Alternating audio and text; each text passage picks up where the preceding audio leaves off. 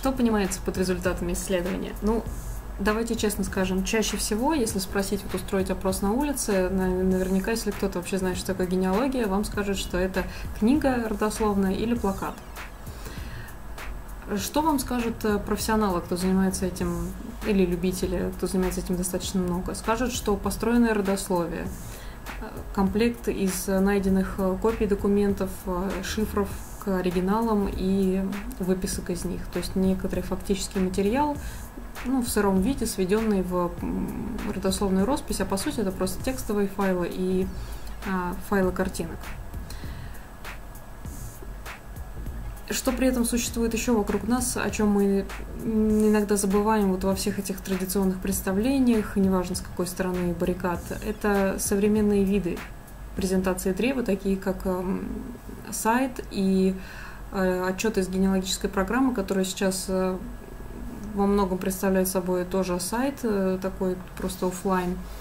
Ну, если, может быть, вы были на сайте MyHeritage когда-нибудь, это вот, э, я считаю, наиболее современным сейчас доступным видом презентации генеалогической работы. Хорошо, конечно, вы имеете виртуальную реальность, где вы там налево повернулись, посмотрели фильм о, истории поиска, направо полистали книгу с копиями, но до этого еще очень далеко, и нам пока, пока, бы, пока бы больше внимания уделять хотя бы таким сайтам, как MyHeritage. Я имею в виду по принципу таким же. Я не агитирую за эту компанию, скажем, я вообще не считаю, что вести вне древа это очень удобно, но вид э, такой, когда вы можете древо растянуть, посмотреть э, его во всех измерениях.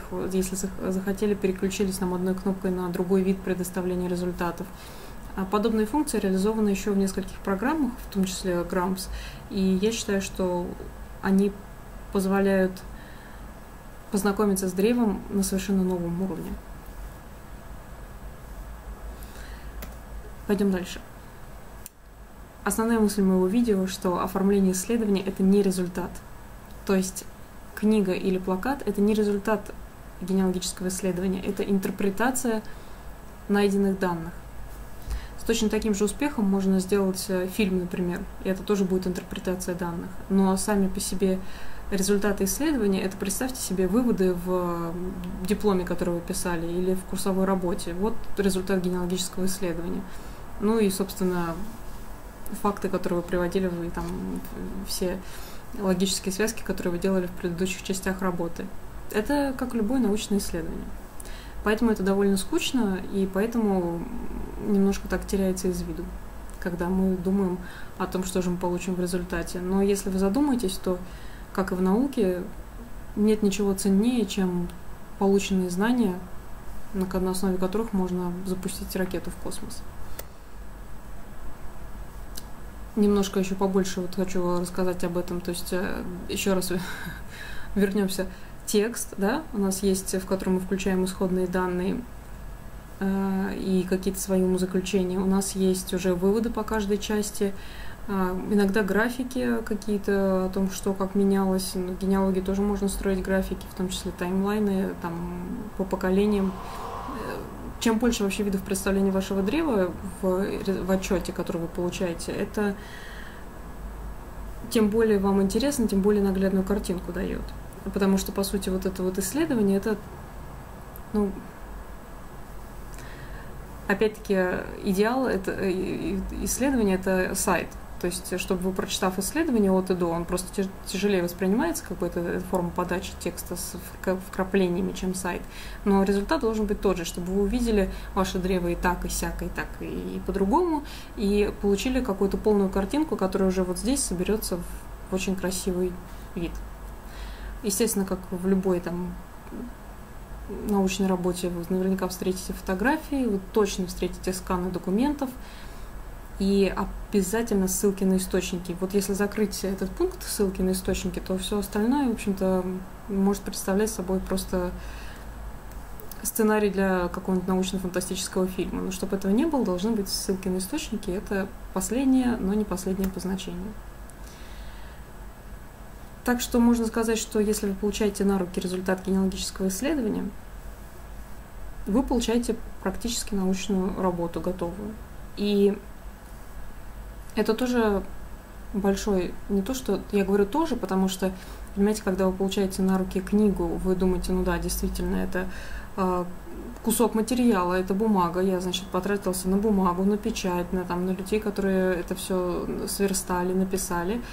Но на самом деле, если так подумать, э, и, в общем, я думаю, если каким-то образом вы сталкивались с ценами например, в книжных магазинах за границей, у них совершенно обратная ситуация. Вы листаете книгу, которая на туалетной бумаге напечатана, и стоит безумное какое-то количество денег, потому что там определенный глубокий труд автора заложен, да, то есть либо это там научно-популярное издание, либо художественное дорогое, и оно дорогое именно из-за содержания. С научной работой, вот такой генеалогической, то же самое.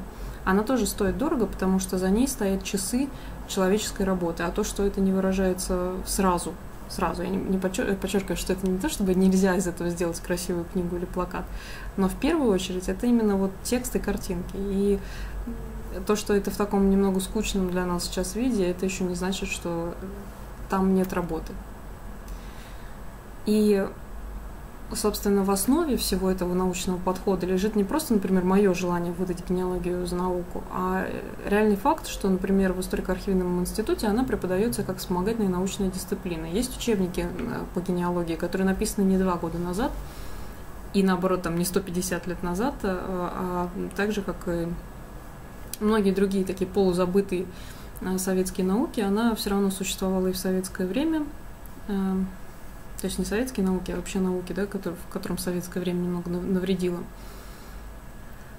В академическом смысле э, генеалогия все равно существовала и существует. Да, учебники очень тоненькие, да, специалистов, которые занимались и занимаются ей немного, вот, но они есть. Многие из них уже в возрасте, но есть молодые специалисты. В общем, она существует, вот что я могу сказать, генеалогия как э, теория, как теоретическая дисциплина, которая преподает, преподается в вузах, и которая, я надеюсь, будет в наших вузах большое развитие, она существует. Потому что если вы посмотрите, опять-таки, на примеры из-за рубежа, там, на Австралию, Европу, Америку, там э, гораздо шире поставлена и прикладная генеалогическая практика, то есть конференции, какие-то там публикации, в общем-то, институты, выдающие сертификаты и так далее. Ну, в Англии, конечно, естественно. А, Все это поставлено на широкую ногу. У нас э, нет, и, в общем-то, в царское время тоже не было такого.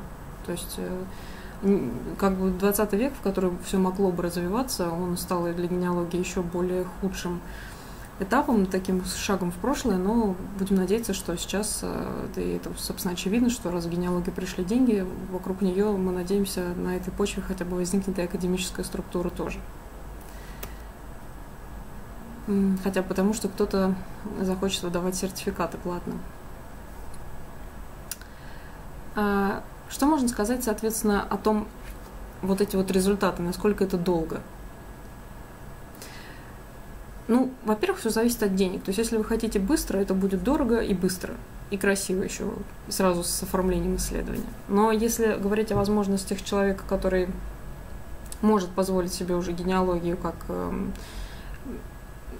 такой подарок самому себе или родственникам, то есть не последнее на нее отдаст, а, но с другой стороны и не готов тратить на нее какие-то безумные деньги, да, и хочет писать ее в бюджет, все-таки я бы сказала, что это пара лет. То есть э, настраиваться имеет смысл на долгую работу. Это не значит, что вы отдадите деньги и результат получите в конце. Это просто значит, что процесс э, будет разбит на части. Ну, если говорить лично о моей практике. Я, скажем, я не знаю, как работают другие генеалоги.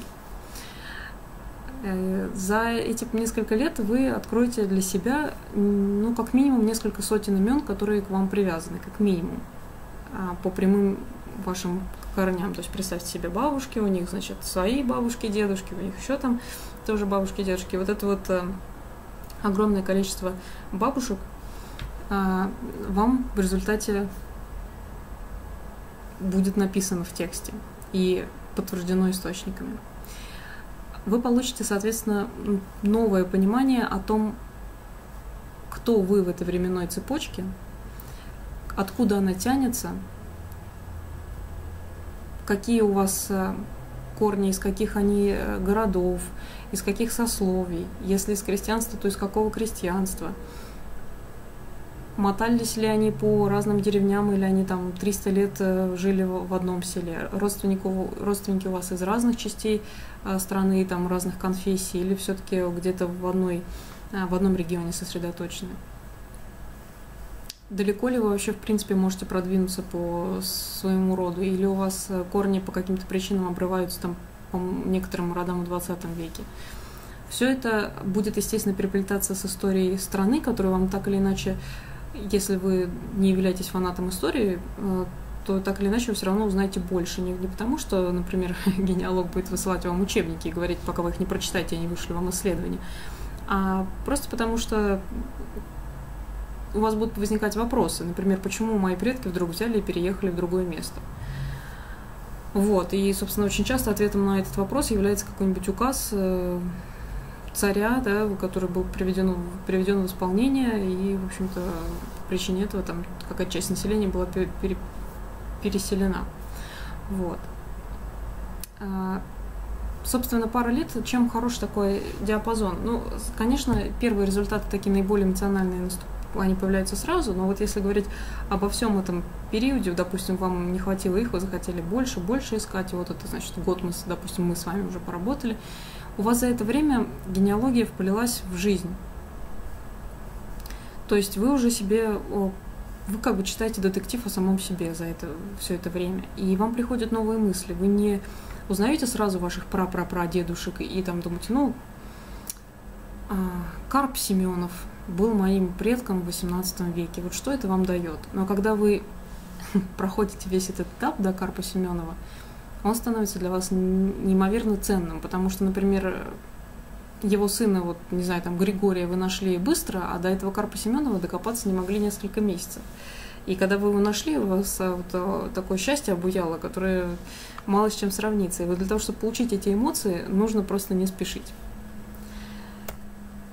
А без них, э, в общем-то, в каком-то плане генеалогия теряет большую часть своей привлекательности. Еще раз вернемся к деньгам, потому что это вопрос второй по популярности, точнее, я бы сказала, 50 на 50 с а, результатами исследования.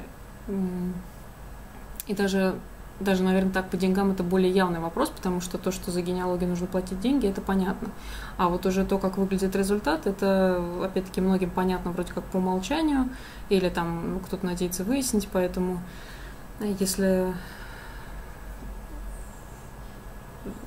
если это э, не, не, мы не начинаем с вами этот разговор, да, или я, например, со своими клиентами, то это можно даже, в принципе, оставить за скобками, просто потом разобраться. Так, это у меня сторонние шумы, прошу прощения. Значит, э, во-первых, если мы растягиваем исследование на несколько лет, понятно, что есть рассрочка. И рассрочка в генеалогии напрашивается сама собой – Потому что если вы все делаете поэтапно, то, соответственно, и расходы тоже идут поэтапно, ну, это удобно. В общем, я не буду говорить, что все можно разбить на 5 тысяч в месяц. Нет, ну, давайте будем реалистами. Это дорогая услуга, и от этого никуда не деться. А, здесь я перехожу ко второму пункту общая сумма, который тоже является часто вопросом, но я бы сказала, что мой самый нелюбимый это вопрос, потому что у многих а, общая сумма выходит в полтора миллиона, потому что они захотели проверить все дополнительные источники, да, какие-то не основные по своему роду, или потому что они захотели красивое оформление, или потому что их, в принципе, интересуют э, их населенные пункты, а, или боковые ветви их рода. Ну и что? Это же не значит, что у вас будет полтора миллиона. Нет какой-то средней суммы. Назвать ее было бы обманом. Кто-то уложил свое древо в 40 тысяч, а кто-то в полтора миллиона. И каким образом из этого можно вывести среднюю сумму? И зачем вообще, в принципе, что она вам даст? Какая у вас гарантия, что именно ваше исследование уложится именно в среднюю сумму, а не в минимальную или максимальную? Слишком большой разнобой.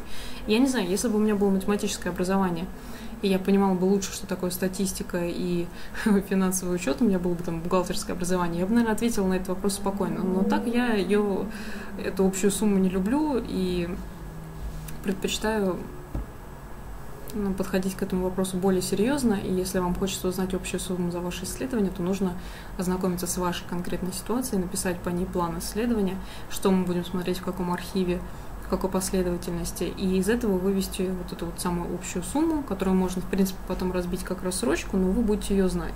Без этого я бы э, не стала говорить ни о каких суммах. Минимальную сумму я, в принципе, уже озвучила, это 40 тысяч. Ну, так, знаете, эмпирическим путем.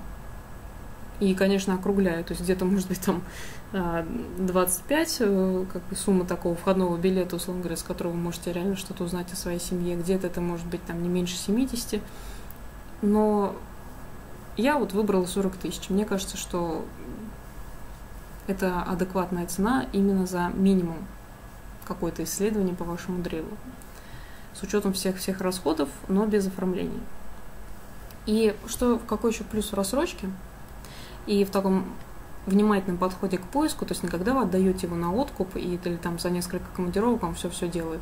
Это контроль за расходами. То есть вы хорошо понимаете, особенно если мы написали план на общую сумму уже, куда идут ваши деньги, на что. Если вам в любой момент вы об этом забыли, а это случается очень часто, потому что сейчас вы подумали о генеалогии, мы, допустим, там я с клиентами, да, обсуждаю, погрузились, потом человек отвлекается на свою жизнь, и он уже думает, что, какие архивы там, что, за что я вообще деньги перевожу? Он может в любой момент открыть план, посмотреть там, и там все будет видно. То есть, э, тем не менее, это всегда есть. То есть, контроль за расходами при э, под таком неторопливом подходе, поэтапном, который я пропагандирую, он э, есть. Он есть. Собственно, на этом все. Если у вас остались вопросы, я надеюсь в ближайшее время сделать несколько трансляций и внимательно все вопросы выслушать и на них ответить. Вообще, кстати, для подписчиков моего канала хочу сказать, что мне все больше нравятся эти трансляции, и я планирую проводить их в ближайшее время чаще.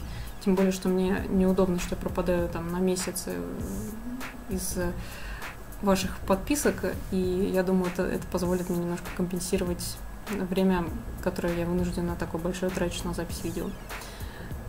Всем пока, удачи в ваших поисках.